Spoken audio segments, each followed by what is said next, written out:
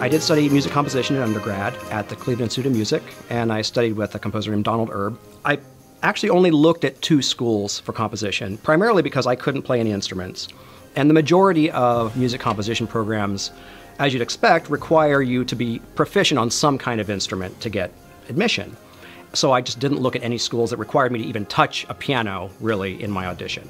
And uh, I auditioned at a very small school in uh, Westerville, Ohio, where I was from, uh, called Otterbein College, and also at Cleveland Institute of Music. And I got into CIM. I got into both, but I went to CIM.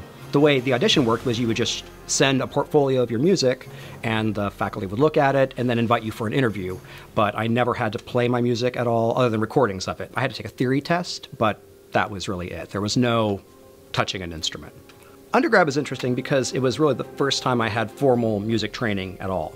And it wasn't just formal music training, I was at a music conservatory, like a 300 student school that is just for, you know, performing, you know, all those people want to get jobs in orchestras or composers want to, you know, be full-time composers. Even though I had never studied theory or anything or orchestration, I spent so much of my free time through high school and middle school just trying to learn those things on my own that I didn't I don't think I felt like I was behind because everyone that's a freshman, you know, is less good at these things than you think you are when you get there. I think all of us kind of felt like, wow, this is hard. Um, so I didn't feel behind. And I also, I think I was just so hungry to really finally have formal training that I just absorbed it like crazy and was so, so excited about it. Ear training was hard for me and remained hard for me through grad school. Um, that was always very scary. But uh, everything else I, I enjoyed a lot and I think worked really hard to like just find just be a sponge when I finally had exposure to those those teachers.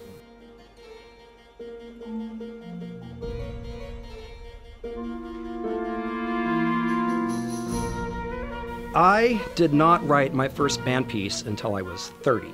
I had gone to Juilliard for grad school, and the studio that I was in at Juilliard, there were four of us in John Corigliano's studio, and it was me, Steven Bryant, who writes a lot of band music, uh, Jonathan Newman, who writes quite a bit of band music also, and Eric Whitacre. And Eric always, from the time we were at Juilliard together in our early 20s, would say, you know, you guys should all be writing band music. It's amazing. And he was working on Ghost Train at the time, and I remember him playing a recording of Ghost Train for me in my dorm room. And you're like, well, that's really cool. Anyway, and I was just done. I was like, so I had never heard that music live. Juilliard doesn't have a wind ensemble. Cleveland Institute of Music didn't have a wind ensemble. So I never heard collegiate level bands play anything. Eric would say, Oh, you guys should be writing band music. And I would say, Oh, Eric, I'm writing orchestral music. I don't need to write band music. And he would, you know, be like, Okay. And he'd get his Maserati and drive away. He doesn't actually drive Maserati, but in my head, it was clear that like he was a different thing entirely. Even just in all of Juilliard, he was just like this superstar already in grad school. And I thought, well, I don't know how to, I don't know band, so I'm not going to do that.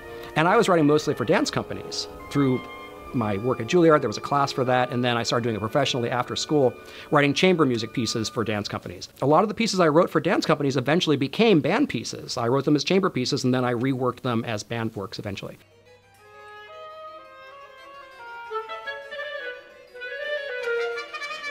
So the way I learned to orchestrate um, is really from my my uh, work study job in undergrad in Cleveland was I worked in the library, the music library, and I always requested to sit at the CD desk um, back when there were CDs. And so I would, every shift, I would get some CD off the stacks behind me, and then I would go into the music stacks and I would get the score, and I would just study that piece, listen to the piece over and over again, just following the score and look, looking at different instruments.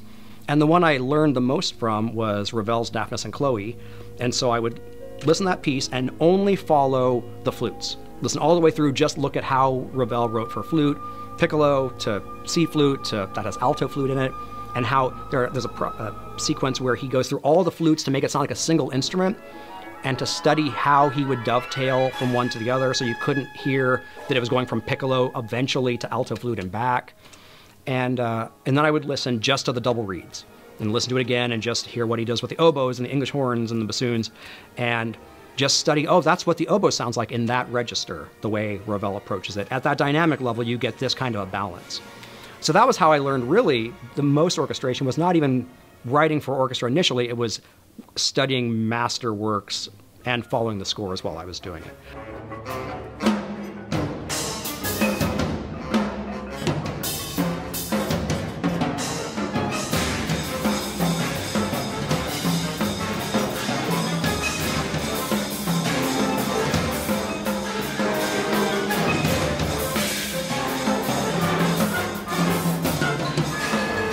And for percussion, my best friend in undergrad was a percussion major. And so we would just hang out in the percussion studio and he would just show me crazy stuff he could do. And that, I was just like hooked. And um, he could also do, he had a really cool trick he could do. He could do any four cross rhythms in his limbs at a drum set at a time. And uh, that's a useless trick, but it was really cool. And that started teaching me about cross rhythms and things like that. And uh, so I think that was, he was a big influence on my writing. And he was an amazing drummer. He's the professional drummer in New York now and uh, he's the one who taught me. So I apologize to all the percussionists who may see this. If you've ever tried to play any of my hi hat parts, they're that hard because of this guy named Damien Bassman who could do amazing stuff on hi hat, and uh, that's why I love hi hat so much. Is because of my best friend in undergrad.